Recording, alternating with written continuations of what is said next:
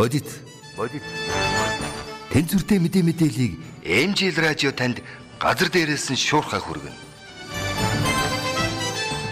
MJL радио мэдээ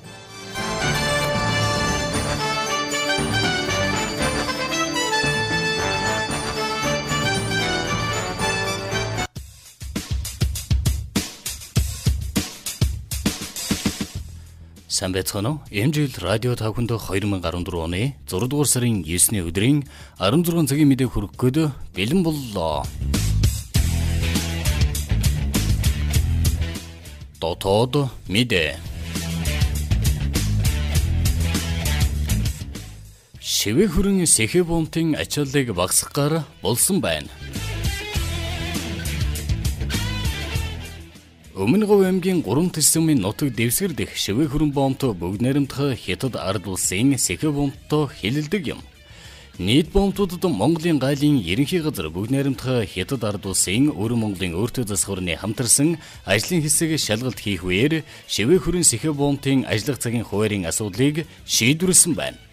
Монгол улсын бомбтод ажиллаж байгаа хяналтын байгууллагын ажилтнууд өдрийн цайны цаггүй ажиллаж байгаа ч бүгд найрамдах хятад ард улсын Сэхэ бомбтдох хил хяналтын байгууллагын өдрийн цайны цагта ажиллаж байгаа нь хил дээрх бөөгнөрл үүсэх шалтгаан болдог байна.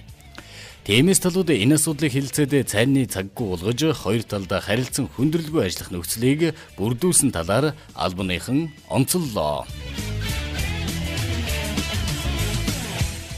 Дараагийн мэдээ 3 дугаар төр хэмнэлгийн шин барилгын ажил намар дуусахаар болсон байна. Улсын хурлын гишүүн Батцандан Баянзүрх дүүрэгдэх эмнэлэг цэцэрлэг сургуулийн барилгын засвар өргөтгөл шинтгэлийн ажлын талаар өнөөдөр сэтгүүчдэд мэдээлэл хийсэн байна. Төсөв хөрөнгө шийдэгдсэн 3 дугаар төр хэмнэлгийн шин барилгын ажил энэ оны 9 10 дугаар сар дуусч ашиглалтанд орно гэдгийг Улсын хурлын гишүүн Батцандан хэлсэн юм. Мөн улсын 2 дугаар эмнэлгийн дарга нарын биш ард иргэдийн эмнэлэг болгохоор ажиллаж байгаа тухайга дуулгажээ. Налах дүүргийн нэгдсэн эмнэлгийн барилга хуучирч муудсан учир концессийн гэрээгээр тус эмнэлгийн барилгыг өргөдөх нь засварлахаар болсныг ч мөн энэ үеэр дурдсан байна. Түүнчлэн Улаанбаатаруудын хүн ам ихтэй Баянзүрх дүүргийн хувьд цэцэрлэгийн хүрэлцээ муу байгаа. Иймээсээ гэрээр хүүхэд харах үйлчилгээг эхлүүлэх, энэ тухай хуулийг батлуулах асуудалд анхаарлаа хандуулан ажлын хэсэгт орж ажиллаж байгаагаа хэлсэн байна.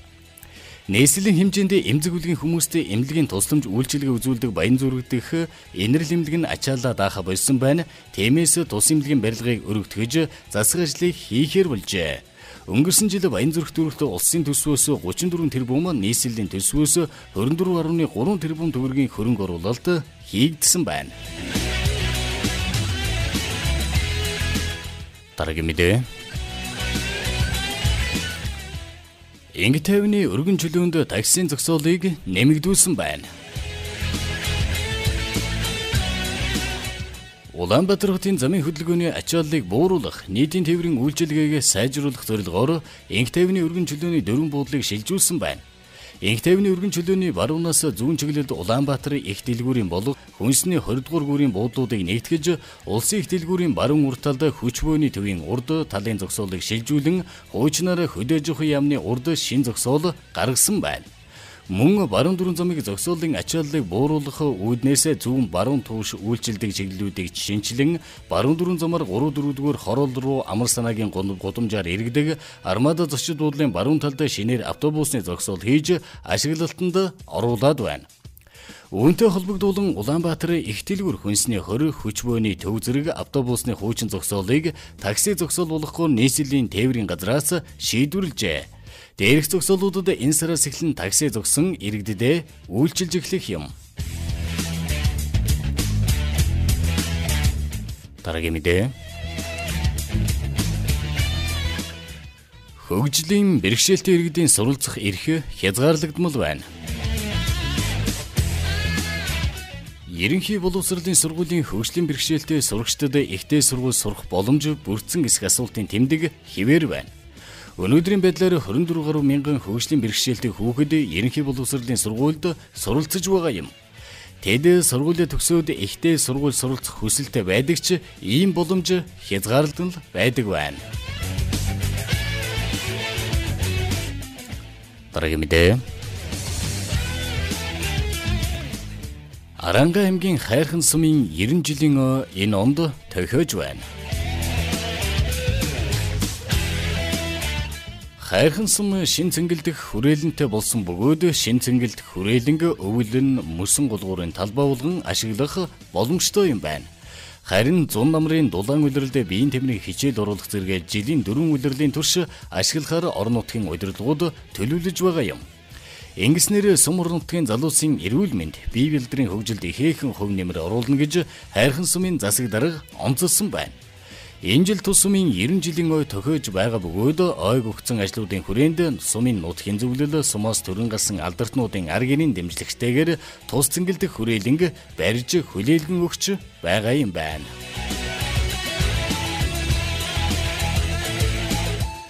Дараагийн мэдээ. Ёлтын давааны орчимд галзуу хүчний дэглэм тогтоосон байна.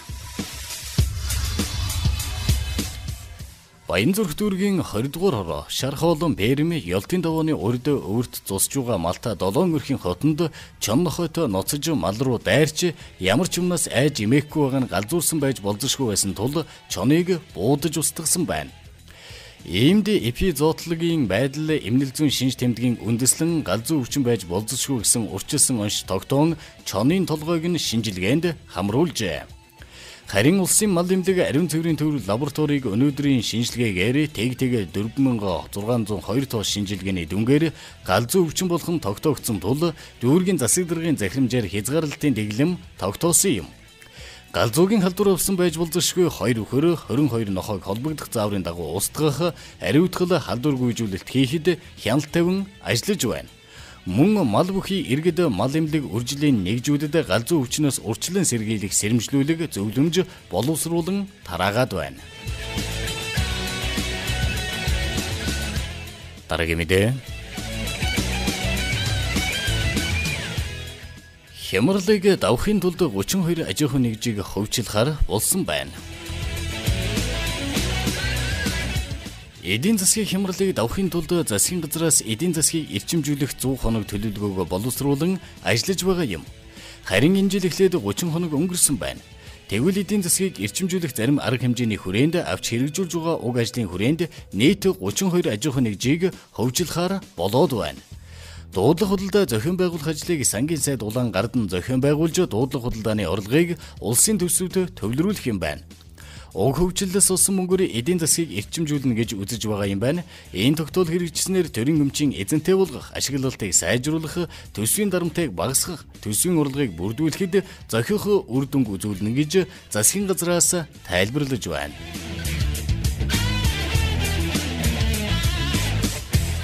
Гадаад мэдээ хачигнаас болгоомжлохыг анхаарууллаа. Сүүлийн 1 жилийн туршид зэрлэг хажиханд хазуулж амнасаа алдсан иргэдийн тоо Солонгос улсад 16 болж өслөө. Жилбэрийн 4-өөс 11 саруудад идэвхтэй амьдралаа үргэлжлүүлдэг хажих нь 6 сард хамгийн их хэмжээгээр идэвхжиж хүн амтны толгой чих чихний ар хэсэг хөл гарын эсэнд хошууга зоон цус сордог ба энэ үедээ өөрөөсөө ялгарх хортой вирусыг цусан тарааснаас улж хажиханд хазуулсан хүн өндөр хэмтэй халуурч дэмэрч улмаар амнасаа алдахад хүрдэг байна. Амнасаа алдах магадлал 50%-тай хажиханд хадуулсан хазуулж байгаа иргэдийн дийлэнх нь газар тариалан эрхлэгчид байгалийн сайханд аялал зугаалга хийж байгаа амрагчид байгаа ба амнасаа алдагчдыг дундаж нас нь 73 байгаа юм байна. Хажиханд хазуулагсад зориулсан тусгай эмчилгээ байхгүй ба өнөө үед иргэд байгалийн сайхан зугаалах, газар тариалан эрхэлж байхдаа биенийхээ аль хэсгийг ил гаргахгүй байх, гадаа өмсөн хувцас өдөр бүр угааж урчлан сэргийлэх хэрэгтэй гэж өнөөдөр Солонгос улсын эрүүл мэндийн яамнаас иргэдэд анхааруулсан байна. Дараагийн мэдээ Солонгосын хөл бөмбөгийн баг шилдэг 16-д үлдэнэ гэж солонгосчуудын тал хувь нь итгэж байна. Тун удахгүй Барзил усад эхлэх гэж байгаа дэлхийн хөл бөмбөгийн авраг шалгаруулах тэмцээнд Солонгосын хөл бөмбөгийн баг шилдэг 16-д үлдэнэ гэж солонгосчуудын тал хувь нь итгэж байгаа судалгааны хариу гарлаа. Тулс ус нь энэ жил гадаадаас дасгалжуулагч авалгүйгээр өөрийн орны шилдэг хөлбөм бөгч хунгаар ахлуулсан бага бэлдэж байгаа ба тэмцээнийг H хэсэгт Алжир Бэлэг Оросын холбоон улсуудтай таарад байгаа юм байна. Солонгосын хөлбөмбөгчд хэсэгтээ нэг хожил нэг хожигдол нэг тэнцээ авч 50.5% магадaltaгаар хэсгээсээ 2 дугаар байртурж шилдэг 16-т үлдэнэ гэж судалгаанд оролцсон 19-өөс 59 насны 4950 хүний 59.7% нь хариулсан байна. Тэдний хамгийн хүчтэй өрсөлдөгч нь FIFA олон улсын хөлбөмбөгийн холбооны жагсаалтын жансаагаараа 10 дугаар байранд орж байгаа Бэлэг улсын баг байх болно гэсэн байна. Мөн энэ удаагийн авраг багаар Барзил улс шалгарна гэж Солонгосын 10 хүн тутмын 6 нь буюу 64.2% нь хариулсан бол Итали улс гэж 17%, нь Испани гэж 13.7% нь тус тус хариулсан ажээ.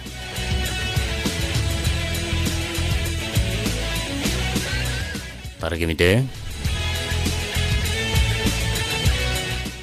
Ерөнхийлөгч Пак Гинхэ Дундад Азийн 3 улсад айлчлана. Ерөнхийлөгч Пак Кин-хэ Дундад Азийн 3 улсад айлчлах гэж байна. Тэрээр эх 16-наас 21-ний өдрүүдэд 5 шин 6 өдрийн хугацаатаагаар Узбекистан, Казахстан, Туркменстан улсуудад ажлын айлчлал хийх ба хамгийн түрүүнд 2 шин 3 өдрийн хугацаатаагаар Узбекистан улсад айлчлахаар болсон байна. Өзбекстан улсад баригдаж эхлээд байгаа газ олборлох үйлдвэр цахилгаан станцуудын барилгын ажил болон барилга шинжлэх ухаан зэрэг салбаруудад Солонгос компаниуд хамтран ажиллах боломжийн талаар энэ удаагийн айлчлалаараа шийдэх юм байна. Ерөнхийлөгч Бакинхэ цааш Казахстан улсад хүрэлцэн очиж мөн 2 шин 3 өдрийн хугацаатай айлчлалаа эхлүүлэх ба Дундад Азийн орнууд дундаас хамгийн их буюу Солонгосын 250 компани хөрөнгө оруулан ажиллаж байгаа улс бол Казахстан юм. Тэрээр Казахстан улсын зах зээлд нэвтрэн ажиллаж байгаа солонгос компаниудын үйл ажиллагаатай танилцсан тэдэнд ажиллах таатай нөхцөл олгож өгөх талаар Казахстан улсын ерөнхийлөгч болон бусад төрлийн өндөр албан тушаалтнуудтай уулзан илүү дэлгэрэнгүй хэлэлцэх ажээ.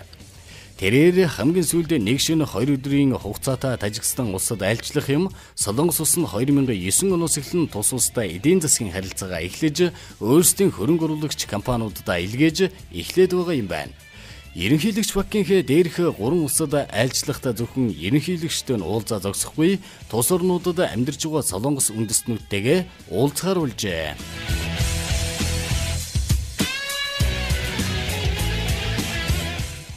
Валютын ханшийн мэдээ Монгол үнэний өнөөдрийн ханшаар 1 долларыг 1812 төгрөгөөр худалдан авч 1832 төгрөгөөр худалдаж байна.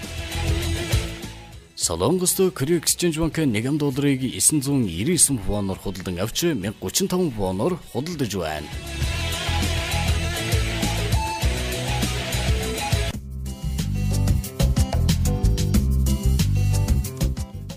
Цагаагаар мэдээ Баруун болон зүүн зүгийн нутгаар үйлэрхэг, зүүн зүгийн нутгийн ихэнх нутгаар говийн нутгийн зүүн, баруун зүгийн нутгийн баруун хэсгээр бороо орно. Бусад нутгаар бороо орохгүй, салхи нутгийн зүүн хэсгээр баруун хойноос, бусад нутгаар баруунаас секундэд 5-аас 10 м, баруун зүгийн нутгийн зарим газар секундэд 12-оос 14 м хүрч ширүүснэ хангаа хөвсгөл хинтийн уулархаг нутг болон зүүн зүгийн нутгаар 18-аас 23 хэм, алтан өвөр говоор 28-аас 33 хэм, бусад нутгаар 22-оос 27 хэм дулаан байна. Улаанбаатар хотод багвтар үлтээ бороо орохгүй өдөртөө 21 хэм, шөндөө 7 хэм байна. Маргааш Улаанбаатар хотод өдөртөө 25 хэм, шөндөө 9 хэм байна.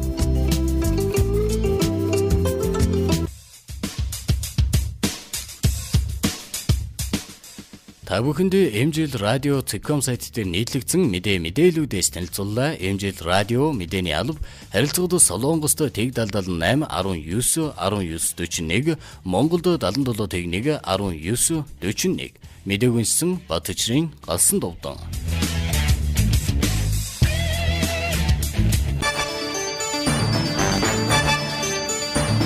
Үнэн. Үнэн. Бодит. Бодит.